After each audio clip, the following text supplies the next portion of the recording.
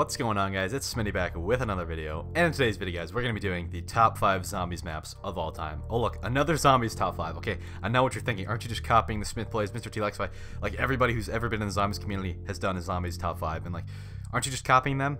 And to that I say, Yes, yes I am.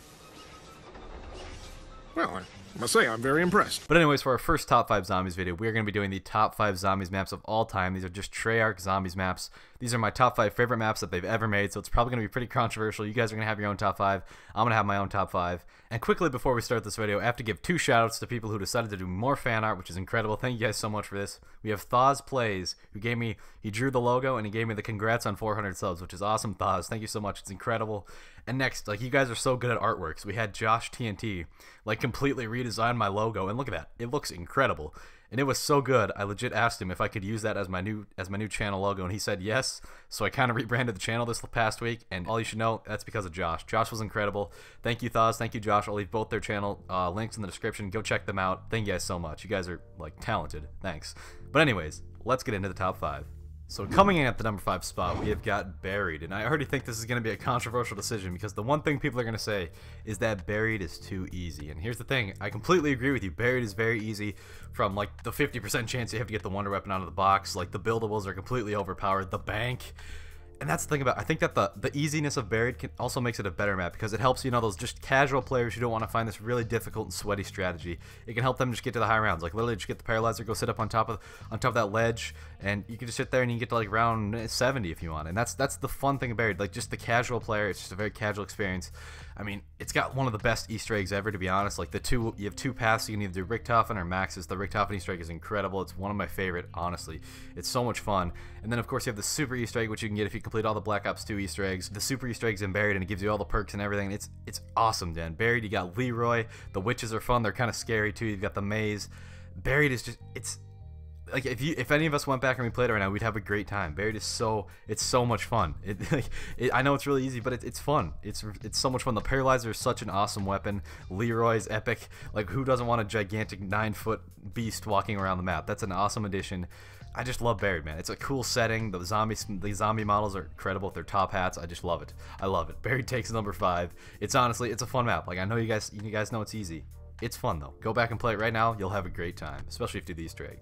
But anyways, Buried takes number five. Coming in at the number four spot, we have got Der Zombies, and I want the World at War version. I want the World at War weapons. I want the World at War experience with the glitchy zombies, the glitchy Wunderwaffe. I want it, man. Der Riese obviously was innovative. It gave us the Pack-a-Punch, which is one of the most important features zombies has ever seen. Obviously, it was innovative, but beyond that, it's so much fun. Go get a, you can play with your squad. You can go camp on the catwalk. You can train and get to a high round. You know, it's just such a, it's again, it's such a casual experience, and it's just if you want to step away from all the complex zombies that zombies turn into nowadays, just go and play Der Recently, the Smith Plays made a video saying that Der is better than Kino der Toten, and I disagreed with him. But then I thought about it, and yes, Der is better than Kino der Toten. It's got more character, it's a lot more fun. You know, it's simple, but it's not too simple. You got to link the teleporters. There's a little Easter egg you can do. It's a lot of fun, man, and it's not it's not too easy. It's not too challenging. It's literally just perfect, and it's perfect for any amount of players that you want. You'll go on there, you'll have a great time.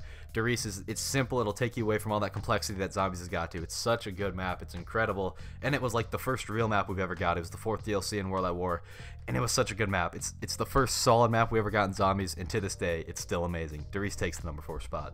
Coming down to our number three spot, we have got Gorod Krovi. Gorod Krovi is such a beautiful map. That's where we could start. Gorod Krovi is beautiful. The dragons were implemented so well. Stalingrad is such an awesome setting for one of our favorite characters, Nikolai. And the map was just executed so well. You got the challenges you can do, the Easter egg. Oh, where do we start with the Easter egg? The Easter egg is one of my favorite ever made in zombies. I mean, like it's such a challenge. It's not easy at all, but that's what makes it so fun because Black Ops 3 Zombies is pretty easy in general with the Gobblegums, but even using Gobblegums, the, the Gorod Krovi Easter egg is not that easy, and I love the challenge that it brings. It's so much fun. The cutscene you get mid-game riding the dragon to pack punch, that is the coolest thing ever. That is epic. You got the lockdown sequence, there's always something to be doing on Gorod, and it's yes, to wrap it all up, it's just such a beautiful map. It's incredible. And of course, oh man, it's just that Easter egg. That Easter egg, I could literally, any time of the day you come up to me, you want to do the Gorod Krovi Easter egg, there's a 98% chance I say, yes, I'm down, let's do it. And it's so much fun. It is so much fun. And The, the Raygun Mark III, we haven't even mentioned that. The Raygun Mark IIIs are incredible. I mean, yes, they drop off at like round 50 terribly, but they are incredible weapons. It's what we all wanted. They were awesome. The PPSH came back. That's what we all wanted. Treyarch was listening with this map, and it was absolutely incredible. The Manglers are awesome bosses. The Valkyrie drones, eh, a little on the iffy side. I don't really like them. The shield, everything is just so good. This map is so much fun. I love, I love the layout. I love it so much. It's an awesome map. Gorod Krovi takes the number three spot. It deserved it. Awesome map, Treyarch. Coming in at the number two spot, this is a pretty popular opinion, we have got Mob of the Dead Zombies. Where to start with Mob of the Dead? This map, the setting in itself is so incredible. Alcatraz Island, we're four characters trying to escape the island. That setting is so epic, there's almost no way Treyarch could have went wrong just with that. Just with that, that makes the map alone. But then moving on, you have the Hell's Redeemer, the Hell's Retriever, you've got the dogs coming out of the walls, you've got the Blundergat, the Acid Gat. Dude, there's four variations of the Wonder Weapon. That is incredible. You've got Brutus, who's one of the coolest bosses ever. And again, I think it just comes back to the setting. The thing about Mob of the Dead is it's just what zombies is, man. Trying to escape an island. Oh, you've got the airplane sequence to pack a puncher on the Golden Gate Bridge. It's such a good map. It's incredible, especially for Black Ops 2. And like for how old it is, it really holds up today as one of the best maps ever, and I think it's definitely earned this number two spot. It's so, so good, and of course, if you go back to play, it's going to be so much fun. The Afterlife system was implemented very well, so awesome, and now, like, it's a risk to take away Quick Revive, one of our, like, favorite perks, one of the most important perks, and they just executed everything so well on this map. It is so good. Mob the Dead, go play it, you'll have fun, it's awesome. Easter egg's decent, but nevertheless, it, it's earned the second spot. It's such a fun map. But anyways, let's get down to the number one spot coming down as the best zombies map in the history of Call of Duty Zombies. You guys already know what it is. It's Origins. Like, to me, no debate, Origins is the best map ever made. It's the most innovative we've ever had. The staffs, like where do we even start? I could just say the staffs and end it there to be honest. The staffs. We got four staffs. You can upgrade all of them. They're implemented into the map so well. They're spread out so well. The upgrade sequences are so much fun. And that's just part of. That's just the staffs. Moving on, we got the robots. The robots are implemented so well. We've got Agartha, which is an awesome location. We got the portals. We got the Maxis drone. We got the shield. I mean, that's kind of in all the other maps. But nevertheless, we got the shield. We got the MP40. It's such a fun map, dude. Origins is so good. It's so innovative. Everything was brand new. We've never seen anything like it the Easter egg. Again, I'm an Easter egg person. We come back down to the Easter egg. The Origins Easter egg could also be a contender for the best ever, the best ever made. Like it's again, it's not too difficult and it's not too easy and it's just a whole lot of fun and it's the cutscene is honestly it's it's a great cutscene. Like originally we didn't like it, you look back on it now, it's an awesome cutscene, and it's just so rewarding every time getting that cutscene when you beat that Easter egg. The Boomhilda was awesome against the, they took risks, they changed the starting weapon, the Boomhilda, epic weapon choice. This map, I just, there's so many good things about it. The Panzer is such an awesome boss. The Panzer is one of the best bosses we've ever seen. He's implemented so well. Once again, everything is just so good with this map. It's awesome setting. We're in World War One trenches. That's epic. That's what Zombies is. We love it. It's where our characters came together.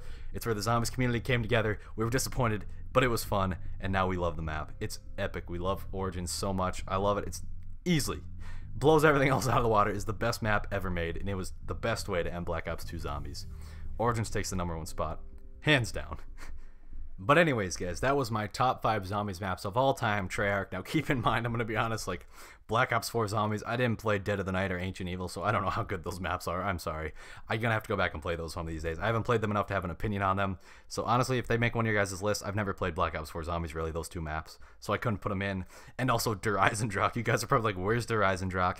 To me, Der Eisendrache I don't have fun playing it just because it's literally just Origins. That's all it is. They brought the Panzer back. Oh, look, bows. No, they're just like complete copies of the staffs. I mean, I don't know. I can't, like, I haven't played Der Eisendrache all that much, but I think it's a result of me not liking the map when I first played it. So I was just like, eh, this map's just, eh, it's okay. And, like, I know a lot of people are to hate that opinion, but that's just where I'm at. So I couldn't put it on this list. It's not even top five for me. Probably, it, it probably scratches top 10, maybe. But to me, Der Eisendrache is overrated it's just trying to be Origins, but it's not. It's off-brand Origins. It's it's not a it's a good map, but it's not a good map. All right, you got that? That makes sense. Anyways, thank you guys so much for watching. Leave your opinions down in the comments below. I'm sure you guys disagreed with me. It was a lot of fun making this. I hope you guys enjoyed this top five. Yes, I mean like everybody does these, but I hope you guys enjoyed it. And I'll be sure if you guys want suggestions, want to leave suggestions for the next one to make, I'll for sure do it. Once again, leave comments, leave your opinions, critique me. Opinions, it's 2020. Opinions are scary, but it's all good. Drop whatever you guys want in the comments. Thank you guys so much for watching. It's been Smitty top five best maps. That's it. That's where I'm at right now. Hope you all enjoyed. Peace out.